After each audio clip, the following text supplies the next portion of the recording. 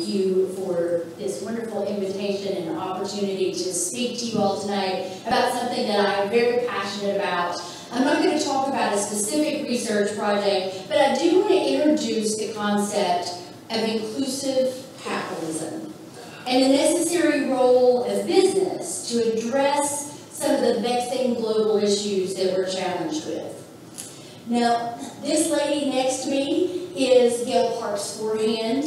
And she's a graduate of the College of Business, and I'm not going to tell y'all when because she strangled me. But this was before, generally speaking, women were business majors. And uh, she's just truly a trailblazer, and I'm honored to hold her professorship.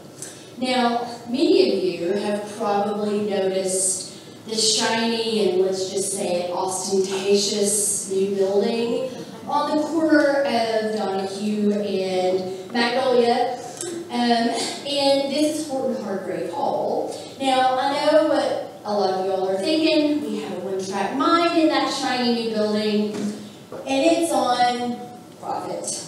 Keep it, grow it, count it, and let's face it, when you see that building, some of you may really see this. Yeah. So, while we're hanging out counting our money, there was a shift in culture a shift in attitude, especially among our young people. This free market system of capitalism has come under siege. And a Harvard study found that 51% of young people in the U.S. don't support capitalism. Now, honestly, this doesn't make sense. And folks in business have been very perplexed about this because the facts are on our side. So if you look, history tells us that people became really prosperous as a result of the Industrial Revolution, and countries that have embraced modern capitalist systems have experienced dramatic increases of income over time. And in fact, the other thing that we found is that uh, extreme poverty has drastically defined, declined over the last three decades to around 10%. And the places where poverty is the most persistent are the places that have weak market-based institutions. So, with the facts and history on the side of capitalism, why the skepticism? Well, perhaps it's because there's a cost for prosperity. Social problems abound, and young people today are faced with an uncertain future. And they've been conditioned around conventional logic. And that's that business makes a profit by causing social problems. And businesses accepted that logic as well. And so to offset it, they set up philanthropic foundations that give money to nonprofits to deal with social. And they pay taxes to government so they can deal with the externalities that came from economic activity. So, with the government intervention and so many nonprofits that exist today, why do the problems still persist and only seem to get worse? Well, one problem is the problem of scale. There's just not enough tax revenue or not enough charitable donations to adequately so many of these problems. But here's the thing. It's completely lopsided logic to think that social problems are disconnected from business success. Businesses don't benefit from pollution or unsafe workplaces or dirty water. When people are sick and poor, businesses aren't better off. Weather-related disasters hamper supply chains and costs. Healthy, thriving communities actually create new markets. A healthy planet ensures a stable supply of natural resources. And companies, especially the big global ones, well, they're starting to get it. So we're seeing a change in boardrooms and C-suites these days, and we're seeing a shift from the primacy of shareholders to the commitment to stakeholders.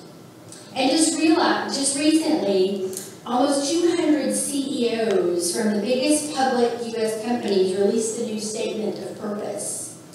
They advocated for a free market system as the best means for economic opportunity, but they made commitments to a broad range of stakeholders, including environmental protection.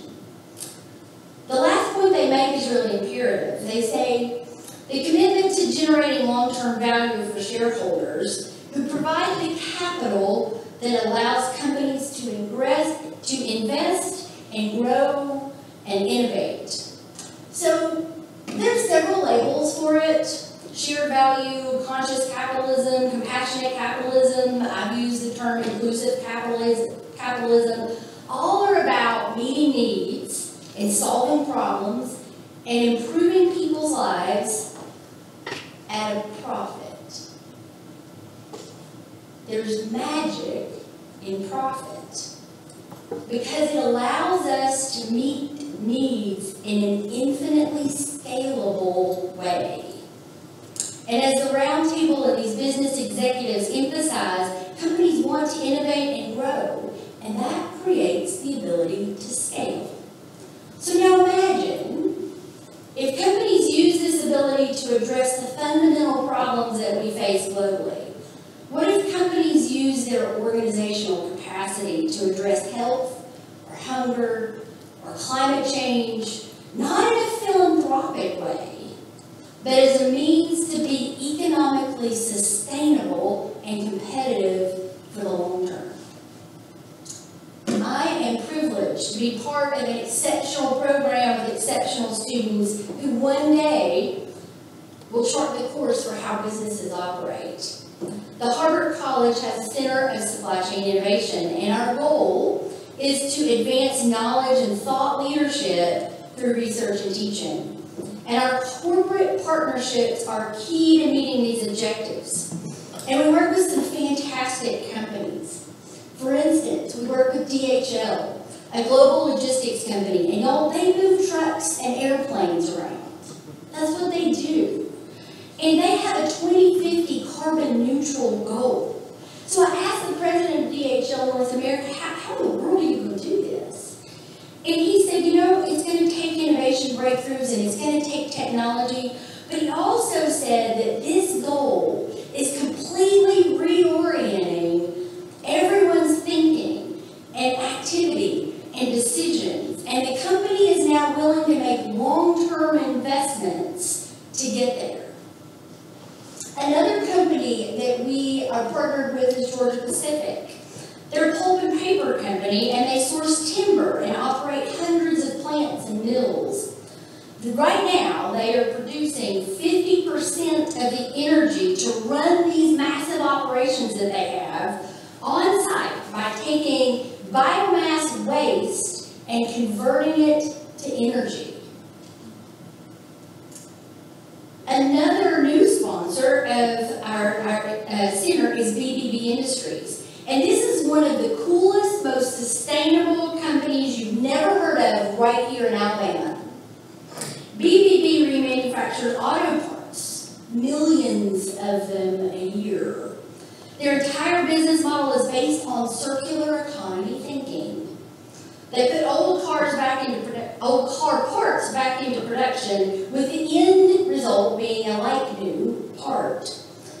This amazing business model diverts landfill waste, it reduces raw material extraction, it reduces emissions, and guess what? They're very profitable doing it. And so, I'm going to say this, and some of y'all are going to think I'm heretic, but Walmart that $500 billion global giant is using its market power to scale sustainable practices that are is changing industries. Their recent initiative is called Project Gigaton, and they aim to avoid 1 billion metric tons of greenhouse gas emissions from their global Scope 3 supply chains. So just to explain what that means. This would be equivalent to removing over 200 million cars from U.S. highways a year. That's scary. So make no mistake, companies are screaming for renewable energy. One of the big pushes that Walmart has is around energy. And traditional utility companies have not been able to meet demand for the company's in renewable energy needs. So, companies are finding market-based solutions. Companies are entering into long-term power purchase agreements, PPAs is what we call them. Um, and it allows corporate buyers to invest in renewable energy projects. Schneider Electric, the big global, just launched recently the NEO network. Um, it's managed by a friend of mine, um, and he has a team of energy experts who created a collaborative, educational, virtual community where renewable energy buyers can learn about market-based opportunities. Now, state governments have to create a competitive market-based environment for purchasing renewable energy, and guess who ranks dead last on the ease in which companies can purchase renewable energy? Yeah. Alabama has huge barriers for renewable energy sourcing. Companies are making location decisions based on their need to meet renewable energy targets, and our state will be left out in the cold if things don't change. So we really need to push our elected officials to create a market-based and competitive marketplace for renewable energy. But on to the better news. This series was about the essence of a changing world. The Harbert College also has a strong emphasis on entrepreneurship. And it can be a force for good and a great model for inclusive to bringing about change when change is hard. I'm here to attest that entrepreneurs can and will change the world.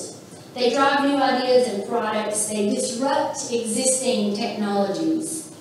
Among other things, Harbert hosts the Entrepreneurship Summit, where we recognize and connect business leaders and innovators. Because I love logistics and supply chains, I, I want to tell you about a company called Zipline. This 30 year old young man is the CEO, and he had a dream to deliver basic access to medicine to all people, no matter how hard it was to reach them. He started and launched his company in Rwanda. And using drone technology, Zipline supplies more than half of Rwanda's blood supply. Blood delivery has been cut from five hours to 30 minutes using drones and these wonderful little packages attached to a simple parachute. This company is saving lives and their reach just extended into Ghana. Want to know how the company has grown so quickly in three short years? Capital investment. The company raised $225 million in funding, and it has currently a market value, value of 1.2 billion. That means scale. When the founder talks about his mission, he is quick to say that philanthropy has nothing to do with it. Because Zipline is a profit-driven business.